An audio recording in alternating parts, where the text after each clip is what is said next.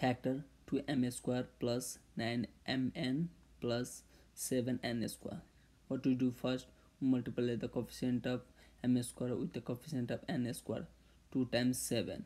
which is 14 then we take out the factor of 14 which is 114 and 2 7 now find a pair of number which we multiply give us positive 14 and an addition give us positive 9 that number is 2 and 7 so we can write 2m square plus 2mn plus 7mn plus 7n square. Now from this pair we take out 2m as common then we have left m plus n. Now from this pair we take out positive 7n as common then we have left m plus n. Now from both sides we take out m plus n as a common